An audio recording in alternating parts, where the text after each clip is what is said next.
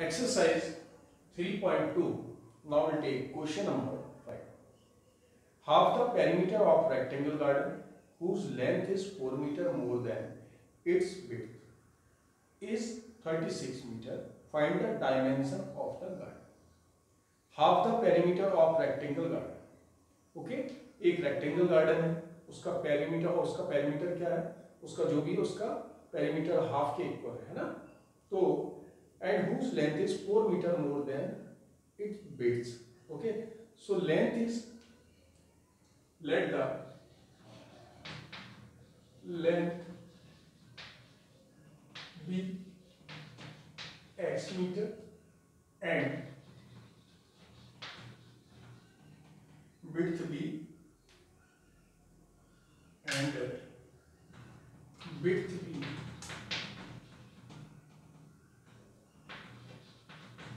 width b by right? Then. Then length is 4 meter more than width. So length therefore as per question length. Length means x equal to 4 meter more than width. So width means by plus 4. Right? So therefore x equal to by plus 4. Clear?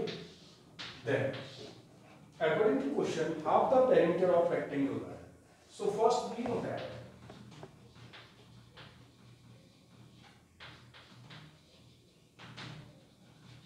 perimeter of rectangle equal to 2 into length plus breadth right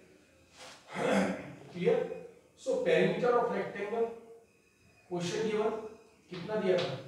36 right and 2 into l.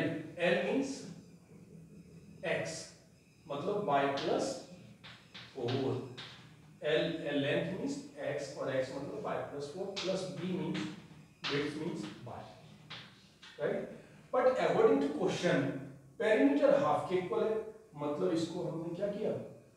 इसका दोनों तरफ़ क्या करा? To से divide कर दो। Perimeter half the perimeter of the rectangle garden इसका half तो हमने क्या किया?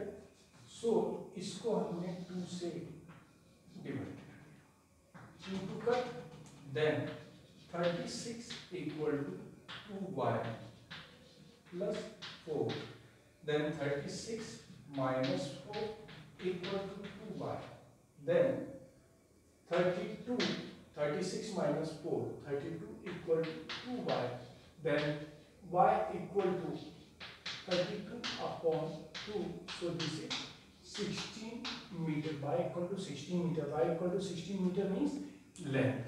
Sorry width.